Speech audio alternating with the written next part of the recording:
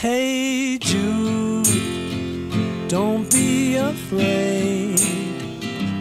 You were made to go out and get her.